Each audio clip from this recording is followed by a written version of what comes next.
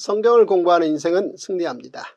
누구나 성경을 공부하면 인생의 성공의 순간에 오직 하나님께 영광을 돌릴 수 있습니다. 누구나 성경을 공부하면 인생의 실패의 순간에도 하나님의 국률로 새롭게 시작할 수 있습니다. 여기 여러분의 성경을 쉽고 재미있는 이야기로 도울 수 있는 큰 글자 통독 성경이 있습니다. 역사순 1년 1독으로 출간된 세계 유일한 통독 성경입니다. 오늘 또 역사순 큰 글자 통독 성경으로 시작하겠습니다. 오늘의 굿뉴스 예레미야 26장에서 28장의 통습 5가지 포인트를 먼저 읽어드리겠습니다. 첫 번째 포인트 하나님께서는 예레미야 선지자에게 예루살렘 성전 뜰에서 하나님의 공개 메시지를 전하게 하십니다. 예레미야 26장의 성전 설교는 예레미야 7장의 내용과 동일합니다. 이는 남유다 백성들이 예루살렘 성전에 와서 예배는 드리지만 율법대로 행하지 않고 선지자들을 통한 하나님의 말씀에 귀를 기울이지 않은 것에 대한 하나님의 강한 질책과 책망이었습니다. 마침내 하나님께서 예루살렘 성전을 실로같이 되게 하겠다고 말씀하십니다. 실로는 이스라엘 백성들이 가나안에 들어간 이후 회막을 세우고 언약궤를 두어 매년 절기를 지킨 곳입니다. 그런데 엘리 제사장 시대에 실로에 있던 언약궤를 빼앗긴 적이 있었습니다. 그리고 이후 실로가 있던 북이스라엘이 망했습니다. 이와 같이 하나님의 율법을 지키지 않으면 예루살렘 성전도 망할 수 있음을 말씀하신 것입니다. 두 번째 포인트 예레미야 선지자는 시드기야 왕이 주재한 6개국 동맹 국제회의장에서 줄과 멍의 퍼포먼스를 시행합니다. 바벨론 제국의 힘이 고대 근동 전체를 뒤흔들자 시드기야 왕이 남유다 주변 5개국 대표들을 예루살렘으로 초청해 국제회의를 개최합니다. 하나님께서 그곳에 예레미야 선지자를 보내십니다. 초대받지도 않은 예레미야 선지자가 국제회의장에 들어가서 줄과 멍의 퍼포먼스를 통해 하나님의 메시지를 전합니다. 첫째 줄을 보여주며 하나님의 측량이 이미 끝났으니 그러므로 남유다는 바벨론 포로로 끌려갈 것이라고 말합니다. 둘째 멍에를 보여주며 나무 멍에를 지지 않으면 쇠 멍에를 매게 될 것이고 이 또한 남유다가 바벨론 포로로 끌려가는 것이라고 말합니다. 하나님께서 예레미야 선지자에게 줄과 멍에를 만들어 그것을 목에 매라고 말씀하신 것입니다. 그리고 그것을 남유다의 왕과 신하들 에돔, 모압, 암몬, 두로, 시돈에서 온 사신들에게 모두 보여주고 각자 자기 나라 왕들에게 메시지를 전달하라고 말씀하신 것입니다.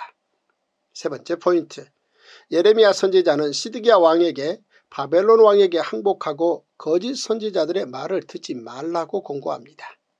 예레미야 선지자는 시드기야 왕에게 죽음을 각오하고 담대하게 하나님의 뜻을 분명하게 전합니다. 첫째 하나님의 말씀대로 바벨론에 항복하고 바벨론 왕을 섬기라는 것입니다. 둘째 거짓 선지자들의 말을 듣지 말라는 것입니다. 네 번째 포인트 예루살렘 국제회의가 무산되자 시드기야 왕은 거짓 선지자 하나냐를 주강사로 세워 구국성회를 개최합니다. 예레미야 선지자의 줄과 멍의 퍼포먼스 때문에 국제회의가 중단되고 5개국 사신들이 모두 자국으로 돌아가 버리자 시드기야 왕이 이번에는 또 다른 이벤트로 남유다 백성들의 마음을 돌리려 합니다. 그 이벤트는 구국성회를 성대하게 개최하는 것입니다. 예루살렘 성전 구국성회의 주강사는 선지자 하나냐입니다. 장소는 예루살렘 성전, 때는 시드기야 왕 취임 4주년을 맞이하는 5월, 대상은 제사장들과 남유다의 모든 백성입니다. 그리고 대회의 주제는 내가 바벨론 왕의 멍에를 꺾었다입니다. 당시 남유다는 바벨론 1차 포로로 수수 인원이 차출되어 끌려갔고 바벨론 2차 포로로 여호야긴 왕과 에스겔과 1만여 명이 끌려가므로 상황이 매우 심각했으며 예루살렘 성전 기명들도 1차 2차에 걸쳐 약탈되었기 때문에 곧 다시 쳐들어올 바벨론으로 인하여 매우 두려운 상황이었습니다. 이러한 때 구국성회에서 하나냐가 하나님의 말씀이라며 메시지를 전한 것입니다. 하나냐의 메시지를 듣고 백성들은 여러와 같이 환호했지만 예레미야 선지자는 그 자리에서 대놓고 하나냐는 거짓 선지자라고 선포합니다. 다섯 번째 포인트 예레미야 선지자는 바벨론 포로 기간이 2년이라고 주장하는 하나냐에게 오래 죽을 것이라고 예언합니다. 예레미야 선지자는 모든 백성이 보는 앞에서 거짓 선지자 하나냐에게 하나님의 말씀을 선포합니다. 첫째, 남유다는 나무 멍에 대신 더 무거운 쇠 멍에를 맬 것이고 바벨론에 의한 남유다의 멸망은 변하지 않을 것이라고 예언합니다. 둘째, 거짓 선지자 하나냐는 하나님의 심판을 받게 될 것이라고 예언합니다. 하나냐에 대한 예언은 말씀이 전해진 지 2개월 후에 하나냐가 죽음으로 이루어집니다. 모든 성경은 유익합니다. 세상 예화나 성경 요절주의, 권별주의는 끝내 성경을 어렵게 합니다. 모든 성경을 모든 가정에서 다섯 살부터 통성경 스토리로 듣게 되면 성경은 곧 쉽고 재미있는 책이 될 것입니다. 모든 성경 이야기에는 첫째 하나님의 법, 둘째 하나님의 극률, 셋째 하나님의 기적이 들어있습니다. 그러므로 성경 한 권이면 충분합니다. 와우! 제211 예레미야 26장 유다의 왕 요시아의 아들 여호야김이 다스리기 시작한 때에 여호와께로부터 이 말씀이 임하여 이르시되 여호와께서 이와 같이 말씀하시니라. 너는 여호와의 성전뜰에 서서 유다 모든 성읍에서 여호와의 성전에 와서 예배하는 자에게 내가 네게 명령하여 이르게 한 모든 말을 전하되 한마디도 감하지 말라. 그들이 듣고 혹시 각각 그 악한 길에서 돌아오리라. 그리하면 내가 그들의 악행으로 말미암아 그들에게 재앙을 내리려 하던 뜻을 돌이키리라. 너는 그들에게 이와 같이 이르라. 여호와의 말씀에 너희가 나를 순종하지 아니하며 내가 너희 앞에 둔 내 율법을 행하지 아니하며 내가 너희에게 나의 종 선지자들을 꾸준히 보내 그들의 말을 순종하라고 하였으나 너희는 순종하지 아니하였느니라. 내가 이 성전을 실로같이 되게 하고 이 성을 세계 모든 민족의 저주거리가 되게 하리라 하셨느니라. 예레미야가 여호와의 성전에서 이 말을 하매 제사장들과 선제자들과 모든 백성이 듣더라. 예레미야가 여호와께서 명령하신 말씀을 모든 백성에게 전하기를 마침에 제사장들과 선제자들과 모든 백성이 그를 붙잡고 이르되 내가 반드시 죽어야 하리라. 어찌하여 내가 여호와의 이름을 의지하고 예언하여 이르기를 이 성전이 실로같이 되겠고 이 성이 황폐하여 주민이 없으리라 하느냐 하며 그 모든 백성이 여호와의 성전에서 예레미야를 향하여 모여드니라. 유다의 고관들이 이 말을 듣고 왕궁에서 여호와의 성전으로 올라가 여호와의 성전 새 대문의 입구에 앉음에 제사장들과 선지자들이 고관들과 모든 백성에게 말하여 이르되 이 사람은 죽는 것이 합당하니 너희 귀로 들음같이 이 성에 관하여 예언하였습니다. 예레미야가 모든 고관과 백성에게 말하여 이르되 여호와께서 나를 보내사 너희가 들은 바 모든 말로 이 성전과 이 성을 향하여 예언하게 하셨느니라. 그런즉 너희는 너희 길과 행위를 고치고 너희 하나님 여호와의 목소리를 청종하라. 그리하면 여호와께서 너희에게 선언하신 재앙에 대하여 뜻을 돌이키시리라.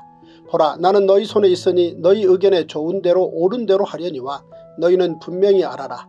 너희가 나를 죽이면 반드시 무지한 피를 너희 몸과 이 성과 이 성 주민에게 돌리는 것이니라.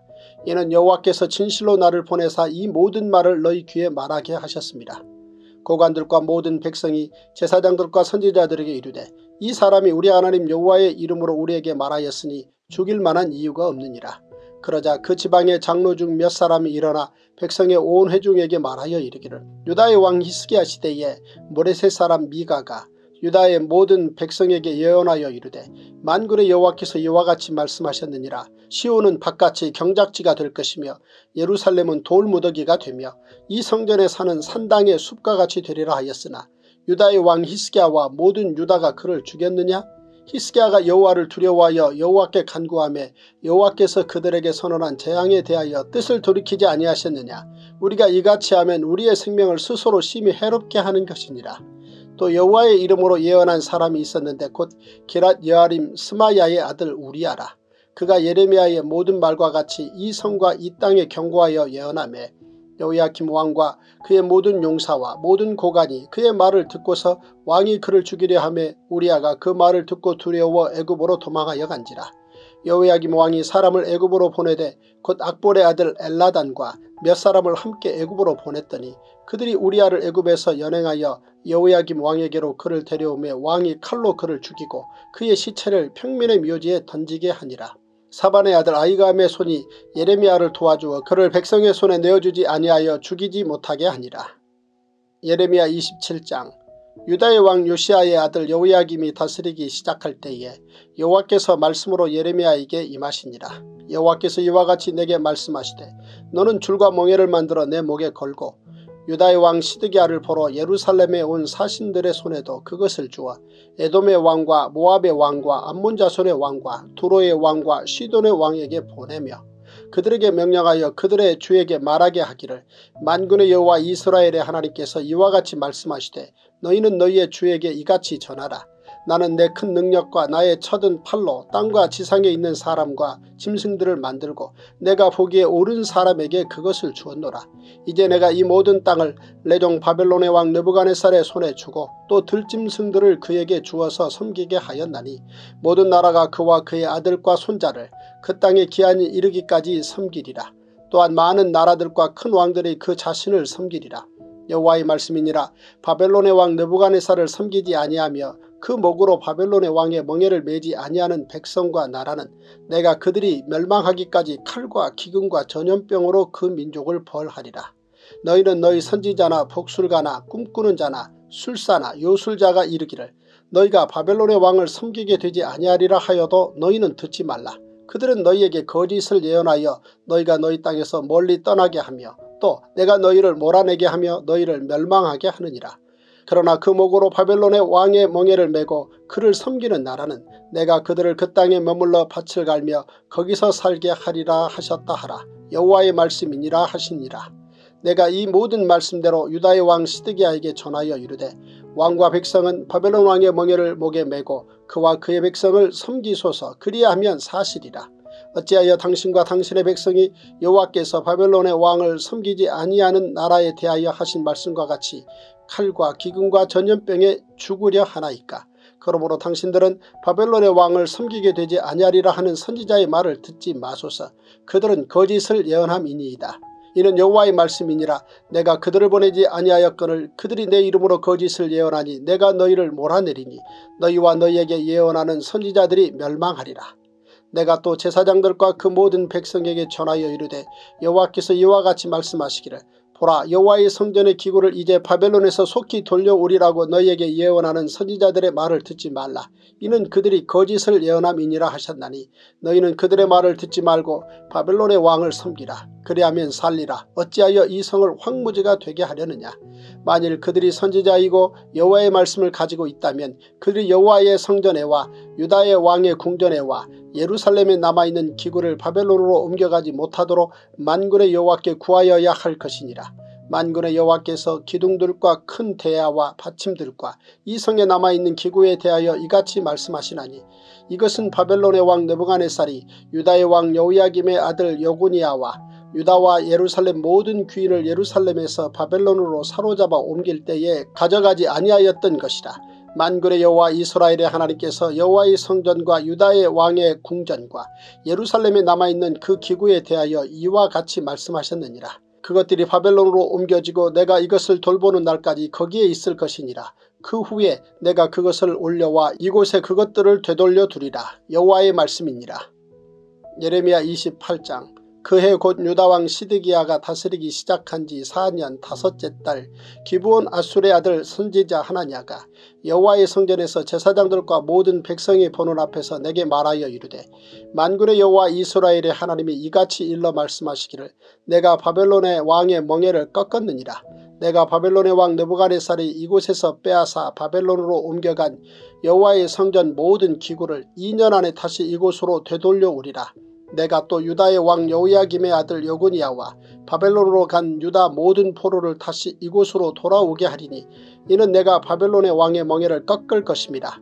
여호와의 말씀이니라 하니라. 선지자 예레미야가 여호와의 성전에 서 있는 제사장들과 모든 백성들이 보는 앞에서 선지자 하나냐에게 말하니라.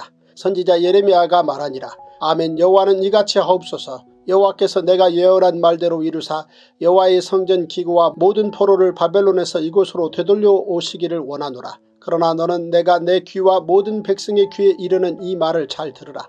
나와 너 이전의 선지자들이 예로부터 많은 땅들과 큰 나라들에 대하여 전쟁과 재앙과 전염병을 예언하였느니라.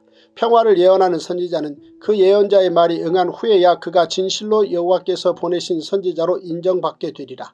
선지자 하나냐가 선지자 예레미야의 목에서 멍에를 빼앗아 꺾고 모든 백성 앞에서 하나냐가 말하여 이르되 여호와께서 이와 같이 말씀하시니라 내가 2년 안에 모든 민족의 목에서 바벨론의 왕 느부갓네살의 멍에를 이와 같이 꺾어버리리라 하셨느니라 하매 선지자 예레미야가 자기의 길을 가니라. 선지자 하나냐가 선지자 예레미야의 목에서 멍에를 꺾어버린 후에 여호와의 말씀이 예레미야에게 임하니라 이르시기를 너는 가서 하나냐에게 말하여 이르기를 여호와의 말씀에 내가 나무 멍에들을 꺾었으나 그 대신 쇠 멍에들을 만들었느니라. 만군의 여호와 이스라엘의 하나님께서 이와 같이 말씀하시니라. 내가 쇠멍에로 이 모든 나라의 목에 메워 바벨론의 왕 느부갓네살을 섬기게 하였으니 그들이 그를 섬기리라. 내가 들짐승도 그에게 주었느니라 하라. 선지자 예레미야가 선지자 하나냐에게 이르되 하나냐여 들으라 여호와께서 너를 보내지 아니하셨거늘 내가 이 백성에게 거짓을 믿게 하는도다. 그러므로 여호와께서 이와 같이 말씀하시되 내가 너를 지면에서 제하리니 내가 여호와께 패역한 말을 하였습니다. 내가 금년에 죽으리라 하셨느니라 하더니 선지자 하나냐가 그의 일곱째 딸에 죽었더라.